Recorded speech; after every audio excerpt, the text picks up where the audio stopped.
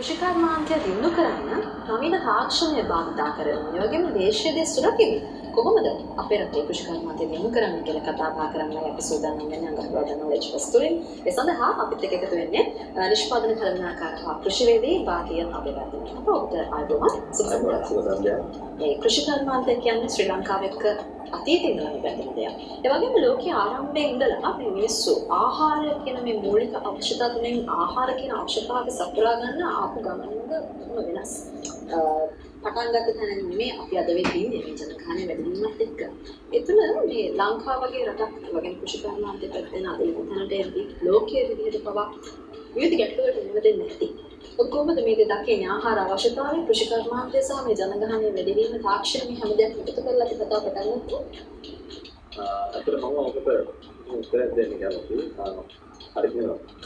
හරිද? කෘෂිකර්මාන්තය මිනිසා එදා ඉඳලා මිනිසා මේ ලෝකෙට අපිට දැක්වෙන බැනිෂ දෙයක්. කියන්නේ අපේ ජීවිත වල අනිවාර්යයෙන් අපි ආහාර අනුභව කරනවා. ඉතින් අ, අපි අපි දන්න විදිහට කතා කරොත් යම් විදිහට පරිශ්‍රණ මට්ටමකින් ඔප්පු කරලා තියෙන විදිහට අවුරුදු 10000කට විතර එකාපැත්තේ ඉඳලා අපි තුමු දඩයන් යුගේ එලා ඒ කාලේ මිනිස්සුරු වෙලා හිටියා ආ, දඩයන් කරගෙන මොන හරි අල වත්තල වගේ දෙයක් කැලින් හොයාගෙන කාලා ඒ විදිහට ඉන්න තමයි ඒගොල්ලෝ ඉස්සලා නුරු වෙලා තියෙන්නේ. ඊට පස්සේ නමුත් කාලයත් එක්ක ඒගොල්ලන්ට ඕන වුණා මේ කැලේ ගිහිල්ලා මේ ඇවිදලා කරන වැඩේ යම් කිසි විදිහකට තමන්ගේ ආ, වත්තේ හරි තමන් ජීවිත පරිසරය තුළ. මොකද අද වගේ අපි වගා දින් තිබ්බේ නෑ. කැලේට ගිහිල්ලා තනින් තනින් එකතු කරගත්ත ආ, සංකල්පයක් තමයි තිබ්බේ. එතකොට ආ, එහෙම ඒගොල්ලෝ ඒ වලින් ඉඳලා බීජ අරන් ඇවිල්ලා කැලේට ගිහිල්ලා තමන්ගේ වගා භූමිය වල වගා කරගෙන ආ, ටිකින් ටික ආ, මේක ආ, මිනිසාගේ අවශ්‍යතාවය එක්කම යම්කිසි දියුණුවක් දියුණුව දියුණුවක් පත් වුණා කාලයත් සමග. උදාහරණයක් විදිහට කියනවා නම් අපි මෙසපොටේමියානු ශිෂ්ටාචාරයේ ඉඳලා ඒ දවස්වල අපි ඊට පස්සේ ඊළඟට එනකොට මිනිස්සු ආවා ගොඩක් ලාට ගංගා ආශ්‍රිත මිනිස්සු දැනගත්ත ජල අවශ්‍යතාවක් තියෙනවා භූගෝලයෙන් ගොඩක්. ඒ වගේම ගංගා ආශ්‍රිත පස සරු ඒ වගේ ඇවිල්ලා ඇවිල්ලා ඇවිල්ලා ඒ අන්තිමට අපි මේ අද ඉන්න කෘෂිකර්ම මාධ්‍ය දක්වා මේක දියුණුලා තියෙන එක ලොකු කතාවක් අ, හරිත විප්ලවය ගැන අපි තාම අවධානය යොමු කරන්න අනිවාර්යයෙන්ම ඉතින් අද ඉන්න කෘෂිකර්මාන්තයේ ගොඩාක් මම කෙටියෙන් කිව්වොත් ගොඩාක් විපර්යාස වලට භාජනය වෙමින් බාධා ජය ගනිමින් අ, ඉතාමත් අධි තාක්ෂණය භාවිත කරන තැනට දැන් පත් වෙලා තියෙනවා. හේතුව මට අපිට බලන්න පුළුවන්. ඔව්. තාක්ෂණය කොහොමද පාවිච්චි කරලා තියෙන්නේ? ඒ වගේම පරීක්ෂණ කටයුතු සඳහා කොහොමද මේ දේවල් ලංකාවේ වර්තමානයේ වෙද්දී පාවිච්චි වෙන්නේ කියලාත් අපි බලන්න සූදානම්. අද වෙනකොට ලෝකේ ජනගහනය බිලියන 8.3ක් වෙලා තියෙනවා. එක්සත් ජාතීන්ගේ සංවිධානය පවසන විදිහට 1915 ජනගහනය අපි දන්න අපේ රෙකෝඩ්ස් කියන විදිහ අනුව මිලියන එකකට තියෙන 1 බිලියන 1.8යි ජනගහනය. අද ඒක බිලියන 7.3ක් වෙලා තියෙනවා. අද වෙනකොට. ඒ වගේම 2050 වෙනකොට අපි බලාපොරොත්තු වෙනවා මේ ලෝකේ යන ආරට ගියොත් එහෙම බිලියන 9.3ක් ජනගහනය වැඩි වෙයි කියලා. 2050 වෙද්දී. 2050 වෙනකොට බිලියන 9.3ක් කියන්නේ ඉතාමත් ලොකු. ඒ කියන්නේ තව දැනට වඩා තව කටවල් බිලියන දෙකක් වැඩි වෙලා කෑම අවශ්‍යතාවය වැඩි වෙනවා. එතකොට මේක ලොකු ප්‍රශ්නයක්. මේ තියෙන්නේ මේ මෙතන පෙන්නලා තියෙන්නේ පොඩි ග්‍රාෆ් එකකින් පෙන්නලා තියෙන්නේ ආ, කොහොමද ආහාර ආහාර අවශ්‍යතාවය වැඩි වෙන්නේ කියලා. ඉතින් මේ ආහාර අවශ්‍යතාවය මිනිසාට වැඩි වෙනතුන අනිත් පැත්තේ අපිට තියෙන ස්වභාවික ගැටලු ගෝලීය උෂ්ණත්වය වෙන්න පුළුවන්.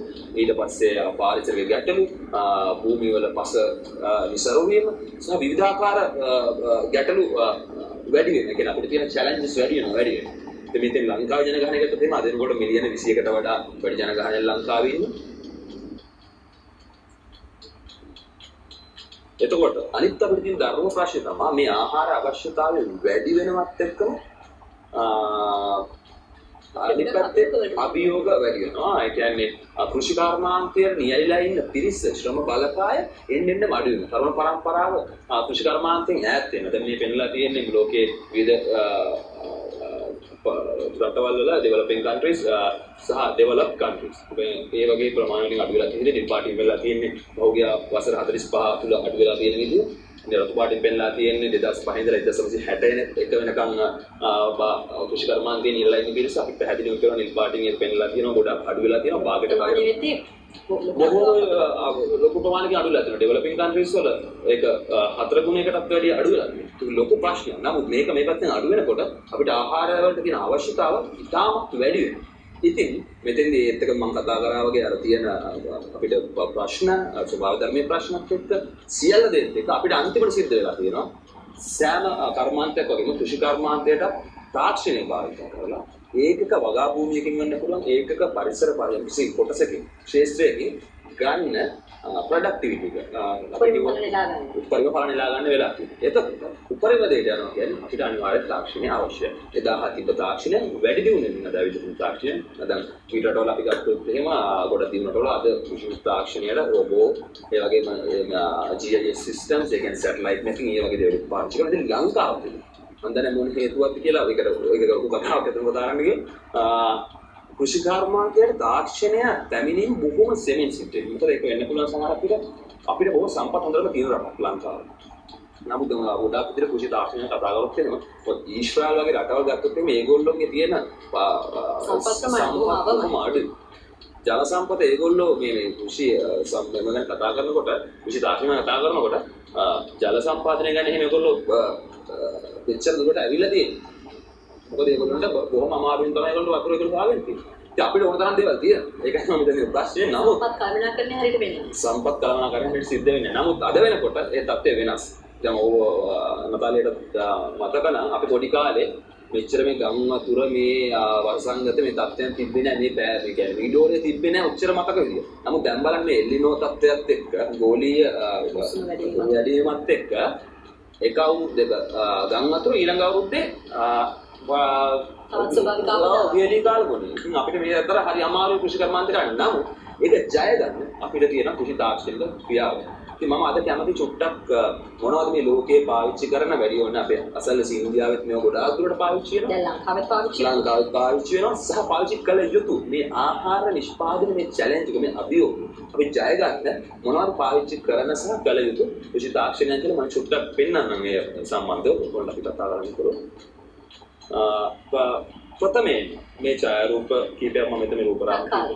ඔව් තක්කාලි මෙතන පතෝල වෙන්න පුළුවන් විවිධාකාර බෝ කෘෂි කර්මාන්තයේ පළවෙනි දේ තමයි නියමිත බීජ හෝ රෝපණ ද්‍රව්‍ය අපි ගාව තියෙනවා. ඒ කියන්නේ නිවැරදි ජාන වලින් ඒ කියන්නේ නිවැරදි ජාන අපිට අවශ්‍ය ගතිගුණ සංකේත.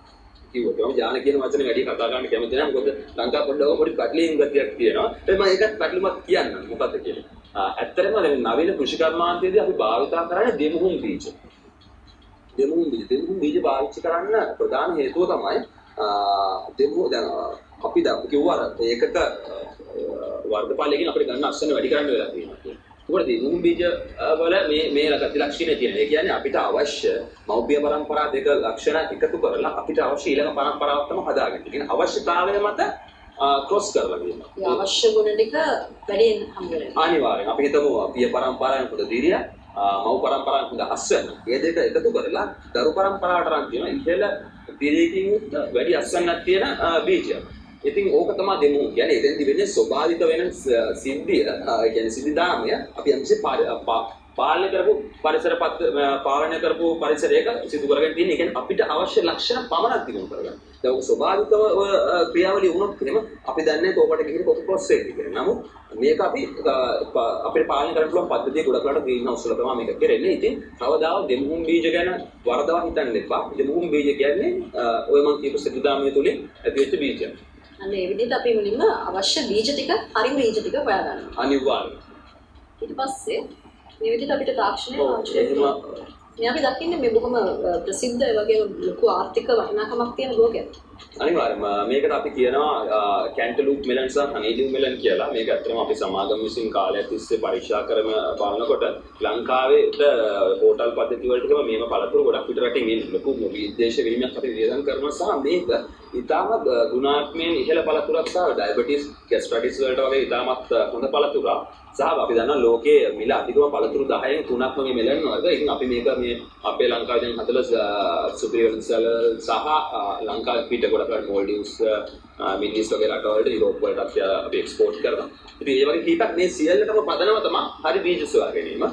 ඉතින් මම මෙහිම ප්‍රෝග්‍රෑම් කීපයක් පෙන්වන්න කැමති මේ කැන්ටලොප් සහ. ආ, එතකොට අපි තාක්ෂණය භාවිත කරපු අවස්ථාවක්. අනිවාර්යයෙන්.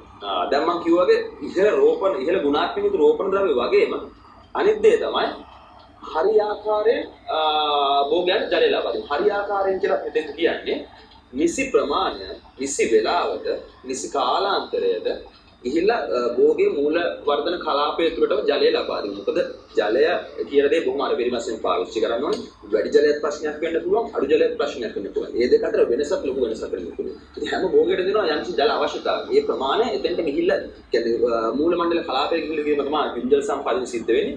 මෙතන මම රූපරාම කීපයක් පෙන්වන්න කැමතියි විද්‍යුත් සම්පාදන පද්ධතිවල. වර්ග භාවිතා කරලා තමයි මේ මුළු වගා බිමටම ඔව් මම ඔව්. මේක මම පෙන්වන්න කැමති මේක කියන්නේ හෙඩ් කන්ට්‍රෝල් එකක්. පොම්ප කරලා පොම්පෙන් ගිහිල්ලා ගහ මුලට ගිහිල්ලා එතනින් බින්දු බින්දු වැස්සීම තමයි මෙතෙන්දි සිද්ධ වෙන්නේ. දැන් අර මම ඉස්සල්ලා එකට ගියොත් එහෙම එතෙන්දි ඕගොල්ලෝ දැක්කා. බට ගිහිල්ලා තියෙන ශේෂ්ත්‍රයේ උඩින්. නමුත් දැන් පොල් වගේ ගොඩක් කියන්නේ දිගු කාලින බෝග වෙනකොට අපි මේ සියල්ල සිස්ටම් එක පොළව ඇතුලෙන් දානවා. මේකෙදින් වාෂ්ප වීම අඩු වෙනවා. එතකොට අපි දන්නවා පොළව ඇතුලෙන් වැඩ කරද්දී අතු කැපෙනවා. අපි ඉතින් මේ තියෙන පොළව ගාවකදී භූගත ජල සම්පාදන පද්ධතිය අපි ස්ථාපිත කරන අවස්ථාව අර අපි පොඩ අපි කියන්නේ මම ඉස්සෙල්ලා පෙන්නුවා වගේ ජල සම්පාදනය පස මතුපිට නැතුව පස ඇතුලෙන් තියෙන අවස්ථාව. මේකෙදි මම කිව්වා වගේ වාෂ්පීකරණය අවම වීම සහ අර අපිට මැනේජ් කරගන්න දිගු කාලීනව සහ විවිධාකාර අපිට කියන්නේ ලොකු බෙනිෆිට්ස් තියෙනවා මේකේ. ඔබන සඳහත් මේ තාක්ෂණය ප්‍රයෝගිත කරගෙන තියෙනවා. අනිවාර්යෙන් අනිවාර්යෙන්. අපි දන්නා භෝගයකට පෝෂණය පෝෂක අවශෝෂණය කරගන්නේ ජලය. පස්සේ තෙතමනිය තිබ්බේ නැත්නම් පසර පොහොර දාලා වැඩක් නැහැ. ඒ වගේම තමයි අපි ඩ්‍රිප් ඉරිගේෂන් එකේදී හැම වෙලේම කරන්නේ බින්දර සම්පාදනයේදී කරන්නේ නල මාර්ගය හරහා පොර යැවීම. ඒකට විශේෂ පොර වර්ග තුනක ජල ද්‍රාව්‍ය පොර අනිවාර්යෙන් පාවිච්චි කරන්න ඕනේ. උදාහරණයක් ලංකාව අපි දන්න ගොවි පාචන යූරියා පොර පාවිච්චි කරන්න පුළුවන්. ඊට අමතරව විවිධාකාර පොර වර්ග තියෙනවා. ඒ කියන්නේ විවිධ මූලික ද්‍රව්‍ය ගහට ලබා දෙන. දැන් සාමාන්‍ය සාම්ප්‍රදායිකව කිලෝ 50ක් මොනවාරි පොරක් පාවිච්චි කරන නයිට්‍රජන් අපි තුමු යූරියාම කියලා. නමුත් නිසි ප්‍රමිතියෙන් පොර සමහරකට කිලෝ 5ක් වෙන්න පුළුවන් පාවිච්චි කරන්න වෙන්නේ. ඉතින් නමුත් අර ලොකු වියදමක් කරලා පොර දානකට වඩා ඉහළ ගුණාත්මෙන් පොර යම්කිසි අඩු ප්‍රමාණයක් පාවිච්චි කරලා අපිට අර අස්වැන්නට වඩා අස්වැන්නක් කියනවා. අපි දැන් අපි ඊළඟ රූපයට යමු. මේ අපි දකින්නේ මේ ශ්‍රී ලංකාවම තමයි වෙන රටක් නෙමෙයි. බඩේනග වගාවක්. ඔව්. ඇත්තටම මේ ස්වීට් කෝර්න් වගාවක් බඩේනග තවත් විශේෂ වර්ගයක්. මේ තියෙන්නේ ඩ්‍රිප් ඉරිගේෂන් නැත්නම් විදුලි සම්පාදනය නල ලොකු අවස්ථාවක් අපේ ගොවිපලක් තුල සහ තවත් විවිධ තැන් කීපයක් මම මෙතෙන්ට පෙන්වන්න කැමතියි. ඒතර කිව්වා වගේ මේ නල පද්ධතියේ හදවත කියලා කිව්වා පොම්පාගාරේ පොම්ප කරන තැන වතුර ෆිල්ටර් කරන තැන වතුර පෙරන තැන තමයි මේ අපි මේ රූපෙන් දිස්සෙන්නේ මේ විවිධාකාර වර්ගයේ පෙරන වර්ග කීප තියෙනවා ඒ වතුරේ ගුණාත්මය අනුව අපි පාවිච්චි කරන පෙරන වර්ග වෙනස් වෙනවා. සහ මෙතනින් තමයි අපි සිස්ටම් එකට පොහොර ලබා දෙන්නේ. කියන්නේ මෙතනින් පොහොර ලබා දුන්නාම මේ සිස්ටම් එකට ඒක ගහේ මුලටම ගිහිල්ලා අර රිවර්ස් කරා ගහ මුලටම වැටෙනවා. මේක අපිම ගිහිල්ලා ගොවි බිමට ගිහිල්ලා මේ ගහෙන් ගහට වතුර දානවා වෙනුවට තාක්ෂණය භාවිත කරන්න පුළුවන්. පුරු අවස්ථාවක් තමයි උරින් දකින්නේ. අනිවාර්යයෙන්. ආ දැන් මේ වගේ ස්වයංක්‍රීය පද්ධති තියෙනවා අපිට يعني යාන්ත්‍රිකව කරගන්න පුළුවන් මේවා තියෙනවා. මේ වගේ ස්වයංක්‍රීය පද්ධතියක් මේ අක්කර 1500 විතර ලොකු ෆාම් එකකට ආපු අවස්ථාව. එහෙම ලොකු පොඩි කියලා දෙයක් නෑ අපිට අක්කරේ භාගයේ ඉඳලා සාමාන්‍ය ගොවිජාන්තාවගේ සාමාන්‍ය ඉදමක ඉඳලා මහා පරිමාණ වෙනකම් මේ තාක්ෂණ අපිට පාවිච්චි කරන්න පුළුවන් විවිධ මුහුණු වලින්. එතකොට මම කියන්නේ තවත් ජල සම්පාදන ක්‍රමයක් තමයි මේ මීදුම් ජල සම්පාදනය. කියන්නේ මේක ඉතාමත්ම විශේෂ ජල සම්පාදන ක්‍රමයක්. මෙහිදී අපි භෝගයකට හෝ අපි මේ සත්ත්ව මොනවා ගව පාලනයේදී හෝ වෙන වෙනත් සතුන් පාලනය නඩත්තු කිරීමේදී ඒගොල්ලන්ට අවශ්‍ය උෂ්ණත්වය පාලනය කරලා ආර්ධම බිම්මල් වගේ කරන ආර්තාව වැඩි කරලා ඒක කිරීම තමයි මෙතනින් සිද්ධ කරන්නේ. ඉතින් ඔබ දැක්කේ රූපරාමු ඒත් ගන්නවා නම් මෙතනදී මම පෙන්වන්න කැමතියි මේ ගොඩක් වෙලාවට අපි දැන් නිම්මල් හදනකොට අපිට ආර්තාවය 180ක් 85ක් විතර උඩින් තියාගන්නවා. එතකොට අපි පාවිච්චි කරන මේ මිස්ටර්ස් මේක නැත්නම් ෆෝකස් කියලා ඉංග්‍රීසියෙන් කියන උෂ්ණ අධික කාලවලදී බොහෝ ප්‍රයෝජන. ඔව් උෂ්ණ අධික කාලෙදී අපි එළියදී පාවිච්චි කරන ග්‍රීන් හවුස් වල හරිතාගාරවල උෂ්ණත්වය පාලනය කිරීමට මේක පාවිච්චි කරනවා. සහ බිම්මල් වල අපිට නිරන්තරයෙන් පාවිච්චි කරන්න මොකද බිම්මල් හැම වෙලෙම වැඩි ආර්තාවක් පියාගන්න යුතු බෝගේ. ඒ වගේ විවිධ ජල සම්පාදන ක්‍රමයන් ගැන මම මේ පොඩ්ඩක් මෙතන පෙන්නන්නේ. ඒතකොට මේ තියෙන අර නතාලියා කිව්වා වගේ ජල ජල සම්පාදනයත් කොහොමද පොහොර ලබන්නේ? දැන් මේ මේ ඔබ මේ රූපරාමුවෙන් දිස්සන දෙන කොටස මේ කියන්නේ මෙතන අපි වෙන්චූරිය කියලා මේ වතුර ලබා දෙන කුම සමායන පොහොර ලබා දෙන කොටස එදිනෙදා භෝගයට අවශ්‍ය පොහොර අපි මේ බකට් එකේ කලවම් කරලා ඩ්‍රිප් ලයින් සරහා යවනවා. මේ හෙඩ් කන්ට්‍රෝල් එක කියලා කියන පෙරණේ තියෙනවා. මෙතනින් අතුලට මේ කියන්නේ ෂේස් වේවද යවනවා. ඉතින් මෙහෙදී අපි උදාහරණයක් විදිහට කිව්වොත් යූරියා වගේ පොහොරක් අපි දැම්මොත් ඒක සාමාන්‍ය තියෙන්නේ ප- පොළොවේ තියෙන්නේ පැය 48යි. නමුත් අපි අපි සාම්ප්‍රදායික ක්‍රමෙන් පොර ලබා දෙනකොට කියන්නේ ඇමෝනියා විදිහට වාෂ්ප කරනවා. නැත්නම් පොළොවේ ලීච් වෙලා හරි අ, ගැඹුරු කාන්දු හරි වෙලක් වෙනවා. අ, පැය 48ක් තියෙන මේ පොහොර ටික අපි රිප් ඉරිගේෂන් එකේදී යූරියම් වේ අපි ඒක කඩලා මාසෙකට කිලෝ 30ක් දානවා නම් දවසක් යන දවසක් කිලෝ දෙකක් බැගින් මේ ඩ්‍රිප් ඉරිගේෂන් එකේ දෙනවා. මේ අපි දෙන්නේ ගහේ එදිනදා බඩගින්නට අවශ්‍ය පොහොර ටික. අපි එකපාරට ගොඩාක් කනවාද අපිට බඩගින්න වලට පොඩ පොඩ කනවාද කියන වගේ කතන්දරයක් තමයි මෙතන තියෙන්නේ. ක්‍රමානුකූලව එතකොට සැපයීම අ, ලැබෙන අවස්ථාවක් තමයි තාක්ෂණය භාවිතා කරලා දැන් තවත් උපුරම් කියනවා. ඔව් මේ තියෙන්නේ තවත් ඒක ඊළඟ පියවර. මේකෙදි අපි මැදිහත් නොවි අත්‍තරම මේකට අපි කිව්වා වගේ ඇප් එකකින් මොබයිල් ෆෝන් එකෙන් සහ කම්පියුටර් එකෙන් පාවිච්චි කරන්න පුළුවන්. මේකට අපි කියනවා poetic kit. මේකෙදි වතුරේ අපි කියනවා pH අගය ඊට පස්සේ EC තාප විදුලි සන්නාගතාව සහ ඒ ඒ දේවල් ඊටම වැදගත් බ- පෝෂක අවශෝෂණය කිරීම. ඒවා අවශ්‍ය විදිහට පාලනය කළා තමයි අපි මේ සිස්ටම් එකේ යවන්නේ. මේ වගේ එකක් අක්කර ලොකු ගානකට අක්කර 10 ගානකට උනත් පොඩි සෙටප් එකකින් කොහොම කරගන්න පුළුවන්. ලංකාවේ භාවිතා වෙනවා. ලංකාවේ භාවිත කරන තැන් දෙක තුනක් තියෙනවා. මේක ටිකක් මිල අධිකයි. මේක තමයි ඊළඟ ලෙවල් එක විය යුත්තේ. මේ ක්‍රමානුකූල වෙන්නේ අර කුංචිම පියවරේ ඉඳලා එන්නේ. නමුත් අර මේට කලින් පියවෙන්න පියවර ඉතාමත්. සුලභයි. යෝ අපිට බලා ගන්න පුළුවන් ගොඩක් තැන්වල පාවිච්චි කරනවා. මේ තියෙන්නේ අර ඊළඟට මම කිය තවත් මම කතා කරා ඉස්සල්ලාම නියම රෝපණ ද්‍රව්‍ය බීජ ඊළඟට නියම ජල සම්පාදන ක්‍රම සහ අපි මේ දැන් ගොඩක් මේ අලුත් අ, අලුතෙන් කෘෂිකර්මාන්ත ගැන කතා කරන මේ හරිතාගාර නැත්තම් නැත්තම් ප්‍රොටෙක්ටඩ් ඇග්‍රිකල්චර් කියන එක ගැන අපි ගොඩක් කතා කරනවා. මෙහිදී අපි කරන්නේ බාහිර පරිසර අ, තත්ත්වයන් අපිට අවශ්‍ය විදිහට මේව මේ මේ පේන අ, කොටස තුල මේක අපි කියමු අපි චේන් එකක හිටපු ග්‍රීන් හවුස් එක ඇතුළේ තියෙන ඒක තුල අපිට අවශ්‍ය විදිහට අපි පාලනය කරලා ඕගේට අවශ්‍ය ප්‍රශස්තම තත්ත්වය ලබා දෙන උපරිම ප්‍රොඩක්ටිවිටි එක ඒ කියන්නේ උපරිම අස්වැන්නක් ගන්න එක තමයි මෙතෙන්දි කරන්නේ. මේ හැම තැනකම වගේ කළු පාට නලයක් සම්බන්ධ කරලා තියෙන්නේ ඒ තවත් ඔබ හරියටමයි දැන් අපි ඉස්සෙල්ලා කතා කරා වගේ අර ජල සම්පාදන ක්‍රමය මෙතෙන්ට අනුබද්ධ වෙලා මේ ග්‍රීන් හවුස් තුල අපි ජල සම්පාදන ක්‍රමයක් විදිහට පාවිච්චි කරන්නේ ඩ්‍රිප් ඉරිගේෂන් කියන ජල සම්පාදන අමන් කිව්වර දවස් හැමදාම එදිනෙදා පොහොර දෙන ඒක තමයි සිද්ධ වෙන්නේ හැම තැනකම එකම විදිහට එකම ගානට ඒ කියන්නේ 100ට 100ක්ම එකම ගානට තමයි හැම පැලයකටම වතුර ලැබෙන්නේ පොහොරත් ඒ විදිහට. ඉතින් මේ තියෙන හරිතාගාරයක මේ තියෙන්නේ ආ, තාප යාමනය කරන ලද හරිතාගාරයක්. ඒක හරිතාගාර ගැන කතා කරනකොට ආ, තියෙනවා එක එක පළාත් වලට පාවිච්චි කරන හරිතාගාර වර්ග උෂ්ණ අධික පළාත් වල අපි පාවිච්චි කරන්න ඕනේ උෂ්ණත්වය පාලනය කළ මේ තියෙන හරිතාගාරවල ආ, වගා කරන චාරූප කීපයක්. ඉතින් කූලින් සිස්ටම් එක මේ තියෙන ලංකාවේ ඉතාමත් ජනප්‍රියතම ලැබුලක් සැල කියුකම්බ හරිතාගාරවල පාවිච්චි කරන තවත් හරිතාගාර. එතකොට ජ- ජල අ, ජල රෝපිත වගාවට හයිඩ්‍රොෆෝනික් ගොඩක් වෙලාවට අපි මේ ගැන අද කතා කරනවා. ගොඩක් හෝටල් වල සහ ආ, මේ ග්‍රීන් හවුස් ඇතුලේ වගා කරනකොට හෝටල් වලට අවශ්‍ය මේ සලාද වර්ග එතකොට හර්බ්ස් වර්ග අපි ಔಷධීය පාස්තල වෙන්න පුළුවන්. ඒ වගේම තක්කාලි විවිධ අනෙක් කලකුත් අපිට මේ භෝගත් මේක හදන්න පුළුවන්. ඉතින් ජල රෝපිත වගාවත් ඒ වගේ අලුත් තාක්ෂණයක් මේ මේ කන්දොඩට කොහෙවත් නෙමෙයි නේද මේ සලාද වගාව තියෙන්නේ ඔව් ඇත්තටම මේ අපිත් එක්ක වැඩ කරන තවත් සමාගමක් ඇත්තටම මේ මුලින්දලා අපිත් එක්ක බොහොම ළඟින් කටයුතු කරපු සමාගම හලාවත ප්‍රදේශයේ. ඉතින් සාමාන්‍ය හලාවත සලාද කොළ වෙනවා කිව්වම අපිට ටිකක් වෙනස් වගේ අනිවාර්යෙන් මේක තමයි. ඒක තමයි. ඒක තමයි නවීන තාක්ෂණයෙන් අපි මේ මේවා ජයගෙන තියෙනවා. අපි උෂ්ණ පළාත් වලත් අපි සීතල පළාත් වල හැදෙන භෝග හදනවා. ඉතින් අපිට ඕක හැමතැනම සම්බන්ධ කරන්න පුළුවන්. සලාද වෙන්නේ නෙමෙයි අපිට ස්ට්‍රෝබෙරි උනත් පායන පළාතක හදන්න පුළුවන් උෂ්ණ අධික පළාතක හදන්න පුළුවන් නියමිත නිවැරදි කෘෂි තාක්ෂණය භාවිත කරලා. අපි ඒක ඉක්මනින් බලමු තව තියෙන ඔව් චාරක ගොඩක් මෙතන මෙතන අනිත් එක තමයි තවත් තාක්ෂණයක් තමයි මල්චින් කියලා කියන්නේ ප්ලාස්ටික් මල්චින්. ඒ කියන්නේ මේක වසුන පාත්‍ය හදලා පෝෂක අපි එකට දාලා පොහොර දාලා ඩ්‍රිප් ඉරිගේෂන් ජල සම්පාදනය කරලා පාත්‍ය වහන. මේකදී තනකොළ හැදේ හැදීම වළක්වනවා. කියන්නේ අපි ගොඩක් දැන් මේ ලයිෆ් සෙට් ගැන එහෙම කතා කරනකොට දැන් මේ වගේ එකක් පාවිච්චි කිරීමෙන් පොඩි දිනයක් පාවිච්චි කිරීමෙන් තනකොළ වැවීම ඒ සාමුලින්ම වැළැක්වෙනවා. එතකොට අපිට වල්නාශක වගේ දේවල් භාවිත කරන්න ඕනේ නැහැ. ඒ වගේම පස්- චක්‍රීකරණය කරපු පාට. අනිවාර්යයෙන් මේ ප්‍රත්‍යක්ෂ ගන්න පුළුවන් එකක් සහ ප්‍රත්‍යක්ෂ කරන වලින් හදන එකක්. අන්න ඒක ලින්ක් මේ කලින් වෙනවා. කතා කතා කරා. කරපු. අනිවාර්යයෙන්. ඉතින් මේක ඉතාමත්ම වැදගත් තාක්ෂණයක්. ඒ වගේ පාත්ති හේදෙන්නේ නැහැ කුණු වික ආකර්ෂණය අඩු වෙනවා.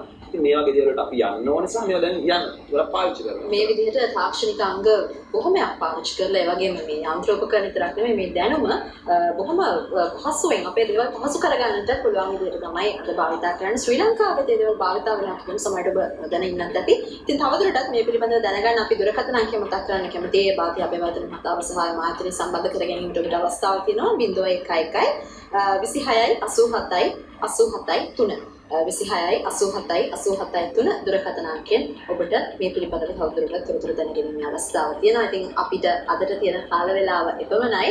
අපි අ, නිෂ්පාදන කළමනාකාර හා කුෂිවේදී බාතිය අබේවර්ධන මහතාට ස්තුතිවන්ත වෙනවා.